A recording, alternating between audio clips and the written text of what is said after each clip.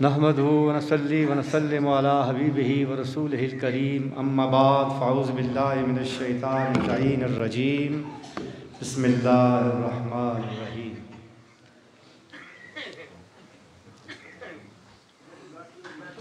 बाद हमदसनाए रब जलील वहदिय सलात सलाम। बरसैद आलम आकाए दो जहाँ, रहबर सजान शहनशाह कौन मकान हज़रत मोहम्मद मुस्तफ़ा अहमद मुशतबा सल्लल्लाहु अलैहि व आलिहि वसल्लम।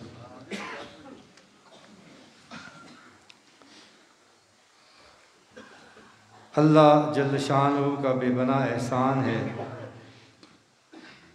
कि मालिकुल मुल्क ने आज फिर अपनी याद के लिए हमें यहाँ जमा होने की तोफ़ी अता फरमाई। ये अजीम और बाबरकत महफिल ज़िक्र और शुक्र में अता हमें ये तोफ़ी अता फरमाई कि मुल्क के तूल और से और बैरून ममालिक से अपने पीर मुर्शद शेर शाह गाजी रहमतुल्लाह याद मनाने के लिए इकट्ठे हों, उनके साल सवाब के लिए। महफिल कुरान खानी में इकट्ठे हों। यहाँ कुरान पाक पढ़ा और सारी दुनिया में पढ़ा गया, पूरा साल जमा किया गया। और लोगों ने बड़े ज़ौक़ और शौक़ से कलाम पाक पढ़ के अपने मुर्शद पाक की दर्जात की बुलंदी के लिए जमा किया। अल्हम्दुलिल्लाह, अल्लाह ताला का एहसान है, उसका फजल करम है कि तकरीबन दस करोड़ पैंतालीस लाख मरतबा कलाम मजीद पढ़ा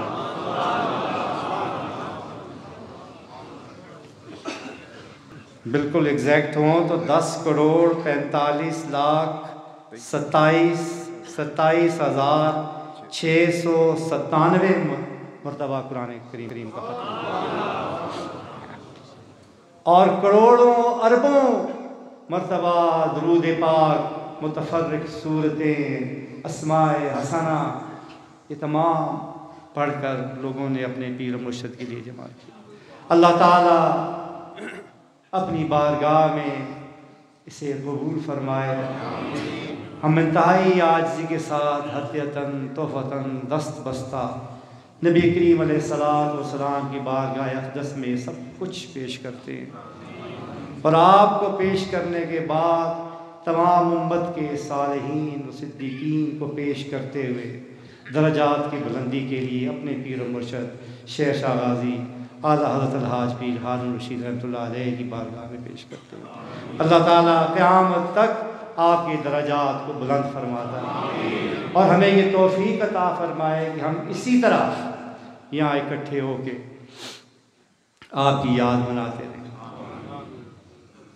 हाजरीन मोहतरम, ये महफिल महफिल ज़िक्र शुक्र और खराज तहसीन की महफिल, दराजात की बुलंदी के लिए, कुरान खानी की महफिल तो है ही। लेकिन ये महफिल शहादत की महफिल भी है, गवाही की महफिल भी है। यहाँ पर मौजूद हर आदमी ये गवाही देने के लिए बैठा हुआ है। और हर वो फ़र्द जिसने इतनी बड़ी तादाद में कलाम पाक पढ़ के यहाँ जमा करवाया, किसी मजबूरी की वजह से वो खुद नहीं आ सका। ये उसकी तरफ़ से भी गवाही है। अल्लाह ताला की बारगाह में कि हमारे पीर मुर्शद ने सारी ज़िंदगी अल्लाह की बंदगी और उसके हबीब की ग़ुलामी में गुजारी। और हमारे सीनों को इश्क मुस्तफ़ा से रोशन किया और हमें नस्बत रसूली से सरफराज करते हुए आका करीम सलात व सलाम के साथ हमारा ताल्लुक़ जोड़ा। अल्लाह ताला हमें इस पर हमेशा हमेशा कारबंद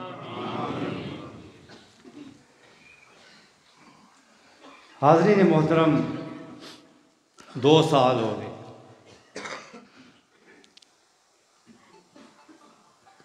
इस जहान फ़ानी से हजूर पी साहब को गए वक्त ज़ख्म की शिद्दतों को दूर कर देता है। अल्लाह ताला ने कोई ऐसा निज़ाम रखा है इस कायनात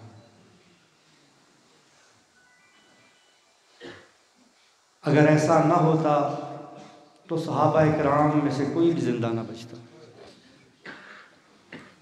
लेकिन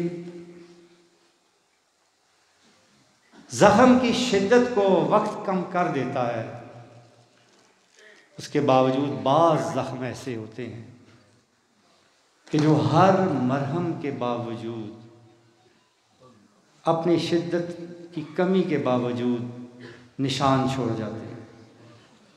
हमारे पीर मुर्शद की जुदाई हमारे लिए बिल्कुल इसी तरह है।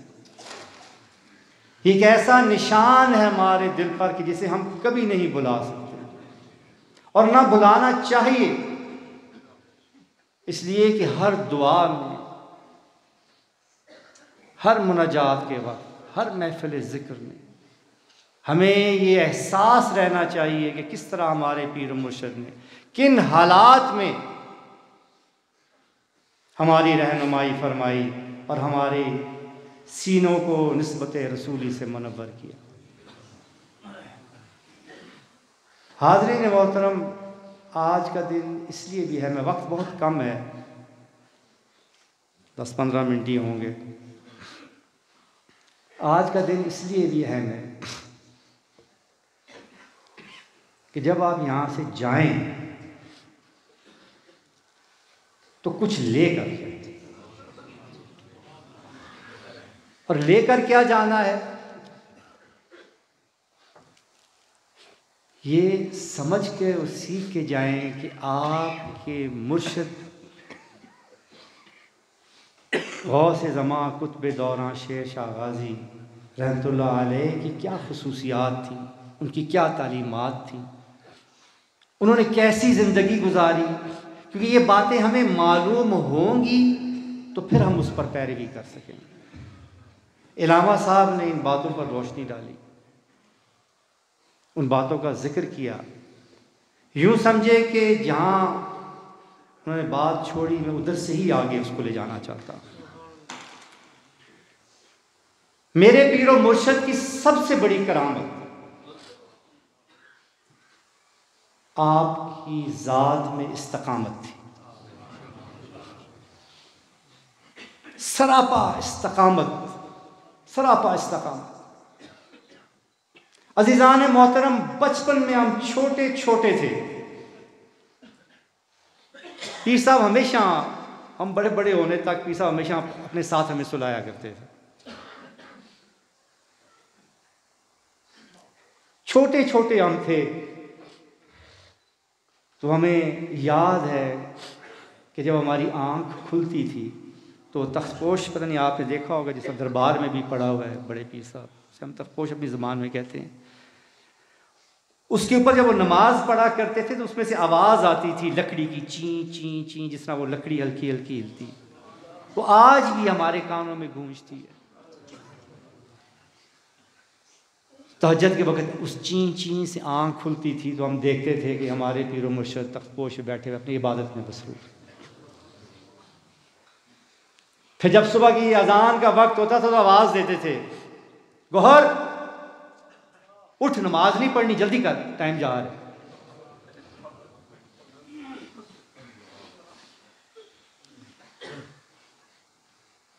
फिर इशराक था किसी तरह उनका। फिर वही उसके बाद थोड़ी देर आराम करना, फिर चाश्त के लिए सलात दुहा अदा करना। फिर इसी तरह बाकी नमाजें तो क्या, बाकी आप आ जाएँ मगरब की तरफ़ तो वही रूटीन। कि हमें मालूम होता था कि अब ये हमारे पीर मुर्शद की इबादत का वक्त है कि मगरब की अजान हो गई है, नमाज़ है, अब इन्होंने किसी से बात नहीं करनी।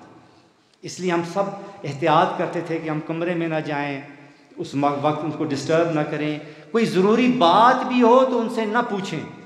बल्कि एक दूसरे को कहते थे अब्बा जी नमाज़ पढ़ रहे हैं, इबादत जी मसरूफ़ हैं, उन्होंने गल नहीं कर सकने, उन्होंने पूछ नहीं सकने। मतलब इस तरह की गुफ्तु हमारी होती थी। और इशा की नमाज़ तक उनके अवाबीन के नवाफिल पढ़ना, उसके बाद अपने वज़ाइफ मुकम्मल करके, कुरान पाक की तलावत करके जब वो फ़ारग होते थे हमें मालूम होता था कि अब हमारा बुलावा आने वाला है खाने के लिए। और हम फिर उसी तरह आपकी बारगाह में हाज़िर होते थे, कमरे में, खाने का वक्त हो जाता था। ये मैं आपको बता रहा हूँ, बचपन से जो मेरी याद है, उस वक्त से लेकर आखिर वक्त तक हमारे पीर मुर्शद की इस सारी रूटीन में एक बाल बराबर फ़र्क नहीं आता। फस्तकिम कमा उमिरता। मेरे रब ने अपने महबूब को ये हुक्म इसलिए नहीं दिया था नाउज़बिल्ला के इस्तकामत को उन्हें दर्श देने की ज़रूरत थी। वो तो सरापा इस्तकामत थे। जब आप, आपको ये, आप पर ये हुक्म आया, फस्तकिम कमा उमिरता तो मतलब सारी उम्मत के लिए, अब्दुल इबाद के लिए बता दिया गया। कि अगर फला और निजात चाहते हो तो इस्तकामत इख्तियार करनी पड़ेगी। जिस कड़े का अलामा साहब ज़िक्र कर रहे थे, ला इल्लल्लाह, उसको पकड़ लिया तो फिर पकड़े रहना है, फिर इस्तकामत दिखानी है। उसको छोड़ना नहीं है। उसे पकड़ी रखोगे तो फिर कामयाबी मिलेगी। यही शेवाए पैगंबरी है। नू सलाम को देखें, मूसा सलाम को देखें, इब्राहिम सलाम को देखें, किसी को भी देखें, किसी अम्बिया में किसी को देखें। और किसी तरफ़ क्यों देखें? अपने आका की तरफ़ देखें। नबी करीम सलात व तस्लीम आप फरमाते हैं कि ऐसे दिन भी गुजरे, ऐसे दिन भी गुजरे कि तीस तीस दिन हमारे पास खाने के लिए कोई ऐसी चीज़ भी नहीं होती थी जिसे कोई भी जानदार खा सके। इंसान तो दूर की बात, जानदार कोई खा सके। पत्ता भी नहीं होता था, सवाए उस चीज़ के कि जो बिलाल अपनी बगल में छुपा के रखता था। मेरे आका करीम, ताजदार कायनात। रब दो जहाँ के महबूब, वजह तखलीक कायनात। किन हालात में इस्तकामत दिखा रहे हैं? शेर अली तालब के दिल और किस तरह हमें तालीम फरमा रहे कि ऐसा वक्त भी आ जाए तो इस्तकामत दिखानी है। क्योंकि जब इस्तकामत दिखाओगे तो तब फलाह और निजात का रास्ता पाओगे।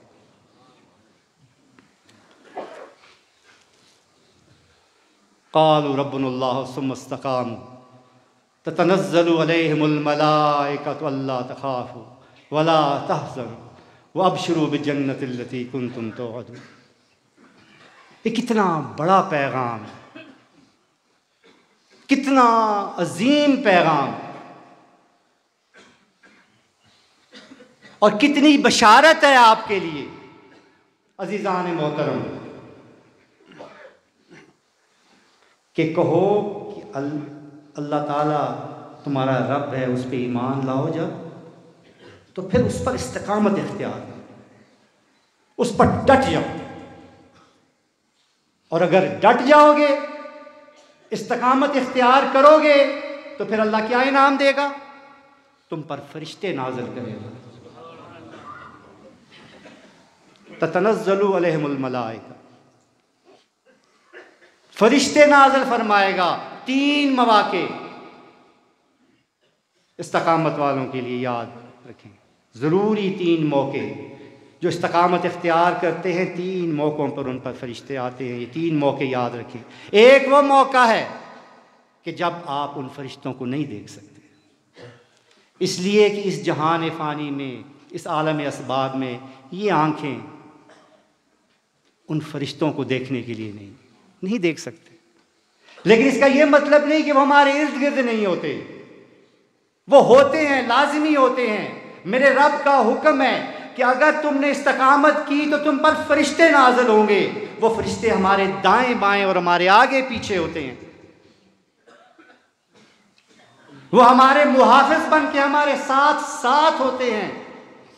वो फिर हमारे दिलों के अंदर अल्लाह के हुक्म से सुकून डालते हैं, इत्मीनान डालते हैं।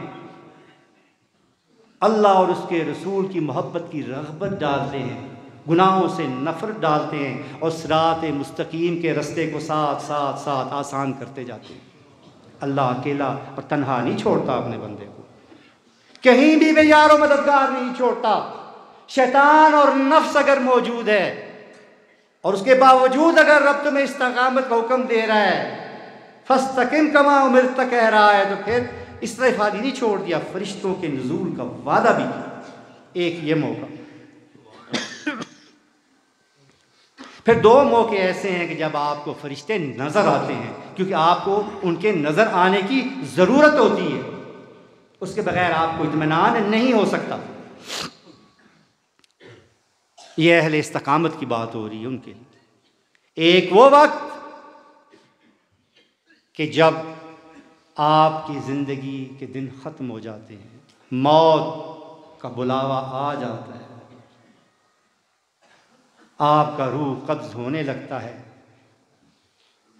जिसम से ये रूह निकलने लगती है तो फिर अल्लाह ताला उन फरिश्तों को हुक्म देता है तो अल्लाह के वो नेक बंदे जिन्होंने इस्तकामत इख्तियार की होती है, अल्लाह ताला के उन नेक बंदों के सामने वो फरिश्ते आ जाते हैं। ये वो मर्तबा, वो ये वो दफ़ा है कि जब फरिश्ते इंसान को नज़र आते हैं। यहाँ ज़रूरत होती है नज़र आने की, उसको इत्मीनान देने की। वहाँ आकर उसे वो बशारत देते हैं, खुशबूदार लबास में आते हैं। मुस्कुराते हुए उसे इत्मीनान दिलाते हैं। और उसे बताते हैं कि तुम्हें रब ने बशारत दी हुई है, तुम्हारे साथ रब ने वादा किया हुआ है। घबराओ मत। तुम्हारे सारे रास्ते आगे अल्लाह आसान करेगा। और फिर ये भी बताते हैं कि अगर तुम इसलिए परेशान हो कि तुम अपने प्यारों को पीछे छोड़ के जा रहे हो तो रब ने उसका भी तुम्हारे साथ वादा कर लिया उन्होंने उन्हें भी अल्लाह ताला अपने प्यारों के प्यारों को भी तनहा नहीं छोड़ता। यानी तुम जा रहे हो, लेकिन याद रखो, तुम्हारी आल औलाद, तुम्हारे अज़ीज़ व अकारब, वो लोग कि जिनके लिए तुम पशेमान हो, जिनसे तुम मोहब्बत करते हो। अल्लाह ताला ने हमारे ज़िम्मे लगाया है। हम उनके मुहाफ़ बन के उनके साथ साथ रहेंगे। तुम्हें यह परेशानी करने की भी ज़रूरत नहीं। आराम से इतमान से जाओ अपने रब की तरफ़। दो मतलब अब तीसरा मौका। जब ये फरिश्ते नाजल होते हैं, और तीसरा मौका भी वो है कि जब ये फरिश्ते इंसान को नज़र आते हैं। हाजरीन मोहतरम, कि यौम हशर जब इंसान अपनी कब्र से उठेगा, अपने सरों से मट्टी झाड़ रहा होगा, दाएँ बाएँ देखेगा, परेशान होगा, ये मैं कहाँ उठ गया हूँ? ये क्या होने वाला है? ओह, ये तो हशर का सामान होने वाला है। न जाने मेरे साथ क्या होगा। एक अजीब परेशानी की कैफियत होगी। अचानक कब्र में से निकल कर मट्टी झाड़ते हुए तो वहाँ वो फरिश्ते अल्लाह के पहुँच जाएँगे। फिर बशारत देने आ जाएँगे कि मत घबराओ। ना हुजन करो, ना गम करो, न परेशानी करो। तुम्हारे रब ने तुम्हारे साथ आसान हिसाब का वादा किया हुआ है। और भला आसान हिसाब क्या होता है? आसान हिसाब तो ये होता है कि अल्लाह ताला अपने बंदे को देखेगा तो बख्श देगा और जन्नत में दाखिल फरमा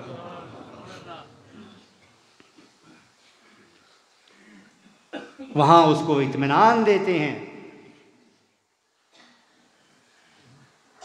हशर के मैदान की घबराहट दूर दूर करते हैं और तसल्ली से उसे मैदान हशर की तरफ़ ले जाते हैं। कितना बड़ा इनाम है इस्तकामत वालों के लिए। लेकिन इस्तकामत इख्तियार करनी है। वफा करनी है। वफा निभानी है।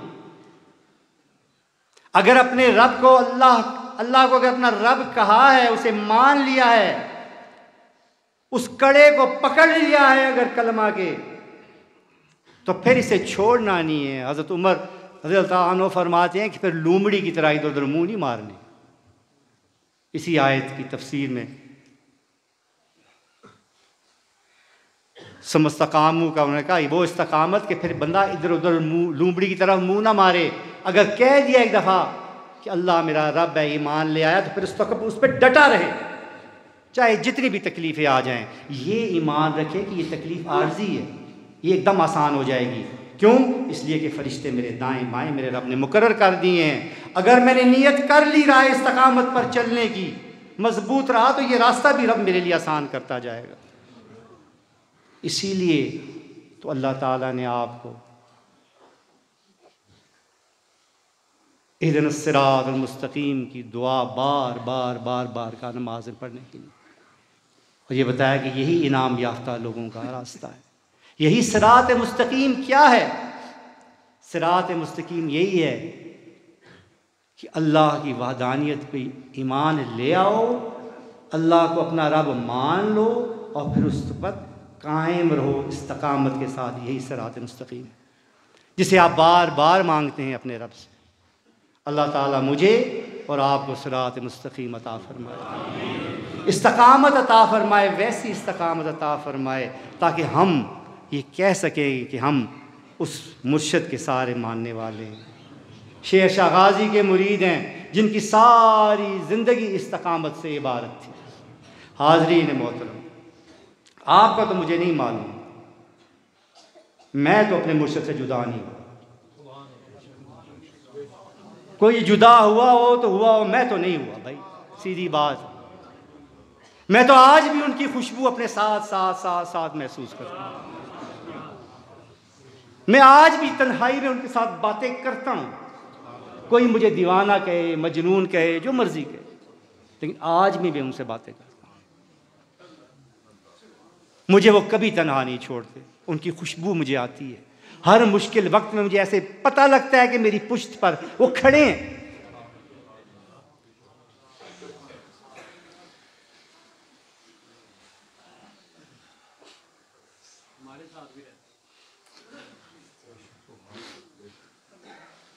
जुदा नहीं हुआ, वो हरगिज नहीं हुआ।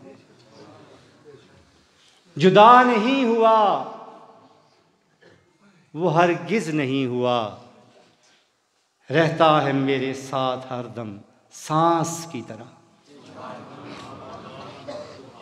जिस तरह दिल के साथ उसकी धड़कन रहती है, जिस तरह जिस्म के साथ उसकी साँसें रहती हैं, मेरे मुर्शद इसी तरह मेरे साथ है। और फिर शाह वली मुहदस देलवी का ये क्या कहेंगे कीदा था या क्या था? उन, उन्होंने कहा और इस पर डॉक्टर इसार अहमद मरहूम भी कायल थे कि जो नेक बंदे अल्लाह ताला के इस दुनिया से रुखसत हो जाते हैं। अल्लाह ताला उन्हें उनकी अरवाह को इसी दुनिया में रखता है। उन्हें, उनसे उस तरह की ड्यूटीज़ कराता है, जिस तरह वो अपने फरिश्तों से कराता है। वो फरिश्तों की फ़ौज में शामिल हो जाते हैं और कायनात के इंज़ाम इंतज़ाम इंसलाम में अल्लाह के हुक्म को बजा लाते हैं। यही हमारे इर्द गिर्द फिर रहे होते हैं। और यकीनन हमारे पीर मुशदाद हमें देख रहे होंगे और खुश हो रहे होंगे कि आपने उनके साथ वफा का तकाजा निभाया।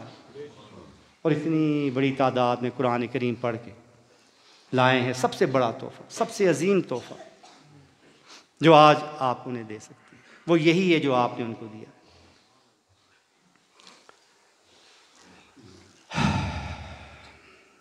अल्लाह ताला अपनी ज़ात पाक के तोफ़ैल अपने पाक हबीब सैदुलमरसलिन के तोफ़ैल हमारी इस नशस्त को अपनी बारगाह में कबूल और मकबूल फरमा।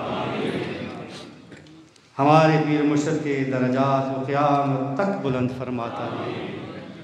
अल्लाह ताला हमारे सीनों को नस्बत रसूली से रोशन इस महफिल, इस नशस्त के दौरान जो उनसे गलतियाँ, ख़ताएँ सरजद हुई हैं रब जलाल उन्हें माफ़ फरमाए। क्योंकि वो अजीम है, वो बहुत बड़ा है, वो बेनियाज है। हम नादान हैं, हम छोटे हैं, हम कमज़ोर हैं। हम गलतियाँ करने वाले हैं और वो गलतियाँ माफ़ फरमाने वाला है। या सतारूब हमारे ऐबों पर पर्दा डाल। या गफ़ार जनूब, या कदीम एहसान, या हमारे गुनाह, हमारी ख़ताएँ, हमारी गलतियाँ माफ़ फरमा के। अपनी बंदगी और अपने हबीब की ग़ुलामी अता फरमा या इलामीन हमें अपना इबादत गुजार और शुक्रगुजार बंदा इलामीन ईमान कामिल अता फरमा फिर उस पर इस्तकामत अता फरमा और ख़ात्मा बिल ईमान अता फरमा इलामीन हमारे दर्जात बुलंद फरमा और हमें उन लोगों में शामिल फरमा दे जिनकी ख़ताओं को तू माफ़ फरमा देता है और जिनकी दुआओं को तू कबूल फरमा इलामीन हमें काबा शरीफ और रोज़ रसूल की हाज़िरी नसीब फरमा। हमारे लिए इस प्यारे सफ़र को आसान बना दे मौला। बार बार ये हाज़िरी नसीब फरमा। हमसे इस सफ़र को दूर न करना मौला। इलामीन हमारी इन गुनाहगार आँखों को अपने हबीब पाक सलात सलाम की ज़्यारत नसीब फरमा। हमारे माँ बाप पर रहम फरमा। जिनके माँ बाप फौत हो गए उनकी मकसद फरमा दर्जात बुलंद फरमा। हमारे बीवी बच्चों पर रहम फरमा। हमारे बीवी बच्चे और हमारे अहल का हर मसला, उनकी हर बात तो अपने ज़िम्मे ले ले इलामीन जिनकी औलाद नहीं, उन्हें औलाद साल अता जिनके घर आबाद नहीं, उनके घरों को आबाद फरमा। रबेज़ुलजलाल हमारे बहन, भाई हमारे दोस्त, हमारे अज़ीज़ व हमारे प्यारे, जिनसे हम मोहब्बत करते हैं और जो हमसे मोहब्बत करते हैं, उन सब पर अपना फ़ज़ल, करम, मेहरबानी, अपना एहसान फरमा। इलामीन जिस, जिसने हमें दुआ के लिए कहा था, उसकी दुआएँ तो अपनी बारगाह में कबूल फरमा, तेरे ख़जाने में किसी चीज़ की कमी नहीं मौला मौला तेरी पनाह मांगते। मौला तेरी पनाह मांगते औलाद के गम से। मौला तेरी पना मांगते हैं, औलाद की आपसी रंजशों से। मौला तेरी पना मांगते हैं, बीवी बच्चों की सरकशी से, नाफरमानी से। या अल्लाह तेरी पना मांगते हैं माँ बाप की नाराज़गी से। इलामीन अपनी रहमतों, अपनी बरकतों की बारिश फरमा। या रबाल या अरहमर्राहमीन बीमारों को शफा शफाता मोहताजों को गनी फरमा। मौला करीम कायनात के तमाम ख़जानों का तू ही खाले तू ही मालिक। मौला तेरे बारगाह में, तेरे ख़जाने में, तेरे दरबार में किसी चीज़ की कमी नहीं मौला। मौला करीम अपनी जनाब से बेशुमार और बेहिसाब अता फरमा, मौला। मौला हमारे रिस्क में इतनी वसतें अता फरमा कि हम मखलूक में से किसी के मोहताज ना हो, मौला। तुझसे मांगे, तू ही अता फरमा, मौला। और मौला हमें मांगने वाला ना बनाना, मौला। हमें बांटने वाला मना मौला मौला हमें बांटने वाला, मौला हमें बांटने वाला बना। इलामीन तो रब्बुल्ज़त है। तमाम इज़्ज़तों का तू ही मालिक है, मौला। मौला अपनी बारगाह से इज़्ज़त अता फरमा। हमारी इज़्ज़तों में इजाफ़ा फरमा। हमें ज़िल्लत से, रसवाई से बेजती से, बदनामी से, शर्मिंदगी से बचाना मेरे मौला। इलामीन हमारा शर्म पर रखना पर्दा रखना। इस दुनिया में भी और आखरत में भी। अपनों के सामने भी और गैरों के सामने भी। मौला करीम, ना हम खुद कुछ ले सकते हैं और ना जो हमें मिल जाए, उसकी हम हिफाजत करने के काबिल हम ये इकरार करते हैं, मौला। देगा भी तू और हिफाजत भी तू ही करेगा। मौला, जो कुछ तू अता फरमा, उसकी हिफाजत भी तेरे ज़िम्मे, मौला। हम बहुत कमज़ोर हैं। हम इस काबिल नहीं, मौला। इलामी या रबाल बीमारों को शफा कामला अता बे औलादों को औलाद अता, मोहताजों को गनी फरमा। आज इस महफिल में जितने लोग आए, अपनी ज़रूरतें, अपनी हाजतें, अपनी मजबूरियाँ, अपनी परेशानियाँ अपने दिलों में लेके आए मौला। मौला, हर उस बात की भी लाज रखना, हर वो बात भी पूरी करना जो हम तेरे सिवा और किसी को बता भी नहीं सकते। हम किसी से उस ज़रूरत का ज़िक्र भी नहीं कर सकते, मौला। सिर्फ़ तुझ से करते हैं तुझ से मांगते हैं। इस यकीन कामिल के साथ मांगते हैं कि तू कायनात के तमाम ख़जानों का मालिक है, मौला। मौला करीम, तू ऐसा सखी है कि खुद कहता है मुझसे मांगो, और जब उससे मांगा जाए तो वो खुश होता है। मौला, दुनिया का बड़े से बड़ा सखी हो तो उसके माथे पे शिकन आ जाती है। मौला, तू तो खुश होता है। इसलिए तेरी बारगाह में भीख मांगते हैं मौला। बेशुमार और बेहिसाब अता फरमा। मौला जो मांगा है, वो भी अता फरमा। जो मांगना चाहिए था, नहीं मांग सके, वो भी बिन मांगे अता फरमा। तेरे ख़जानों में किसी चीज़ की कमी नहीं मौला। इलामीन वो लोग जो यहाँ पर इस महफ़िल में शामिल नहीं हो सके लेकिन आजकल सोशल मीडिया का ज़माना है। वो बहुत रिक्वेस्ट करते हैं, इसलिए मैं ये बात ख़ास तौर पे इंडिकेट कर रहा हूँ अलग से, कि वो उनकी बहुत ख्वाहिश होती है कि हमारा नाम लिया जाए, हमारे लिए दुआ की जाए कि हम जुड़े रहते हैं इस मौके पे आपके साथ। उनके लिए दुआ करें। अल्लाह ताला उनकी मजबूरियाँ दूर करे, उनको हमारे साथ मिलाए। उन्हें ये ताकत अता फरमाए कि वो बार बार हमसे मिलें। अल्लाह की रज़ा की खातर हमसे मोहब्बत करें और उनकी सारी तकलीफ़ें अल्लाह ताला दूर फरमा दें। उनकी हाज़िरी को भी अल्लाह ताला आज के दिन कबूल फरमा हाजरीन मोहतरम, एक ऐसा तबका है जिसे आप कभी ना भूला करें, वो खादमीन लंगर का है।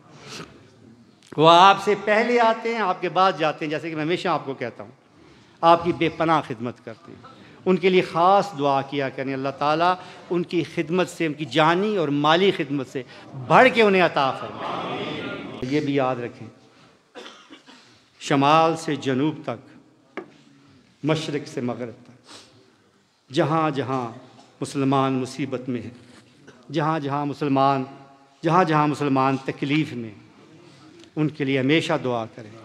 गज़ा के मुसलमानों के लिए करें। उन पर जो जुल्म और सितम के पहाड़ टूट रहे हैं।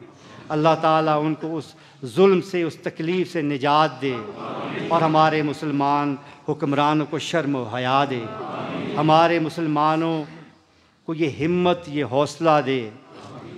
उनकी रीढ़ की हड्डी में इतनी ताकत दे कि वो मुट्ठी भर ालमों से अपने उन भाइयों को निजात दिलवा सकें। एक बात जो मैं लाजमी करना चाहता था। याद रखें कि अकीदा ख़त्म नबूवत जो है, वो इस्लाम की इमारत की बुनियाद है। ये बुनियाद है, क्योंकि इस्लाम का और कुरान का कि मतलब ये कहना कि अल्लाह ताला की का ये आखिरी कलाम है, आखिरी फ़ैसला है, आखिरी तरीका है, दीन है, हतमी दीन है। उसकी दलील भी यही है, ख़त्म नबूवत। अगर ख़त्म नबूवत पर ईमान नहीं होगा तो फिर ना कुरान के आखिरी कलाम होने पे कोई दलील है ना इस्लाम के हतमी दीन होने पे कोई दलील है, ना किसी और चीज़ की कोई दलील। लिहाजा ख़त्म नबूवत जो है, वो सारे इस्लाम की बुनियाद है। इसके बग़ैर इस्लाम का कोई तस्वुर नहीं। इसलिए चाहे हुक्मरान हो या आम आवाम हो, चाहे अहल इल्म हो या अहल सियासत हो हमारा सबके लिए एक ही पैगाम है। जो चाहे आपस में आप करते रहें, टकरे मारे जानवरों की तरह, जो मर्ज़ी करें। हमें कोई नहीं लेना देना। जो मर्ज़ी करो, करते रहो। तुम दुनिया वाले हो, दुनिया तुम्हारी भागो एक दूसरे के पीछे। बस इसको मत छेड़ना। सिर्फ़ इसको मत छेड़ना। किसी सूरत मत छेड़ना। क्योंकि ये हर मुसलमान के दिल के इतना करीब है कि जितना दिल के करीब उसकी धड़कन होती है। अगर नहीं है, अगर ऐसा नहीं है तो फिर वो मुसलमान ही नहीं।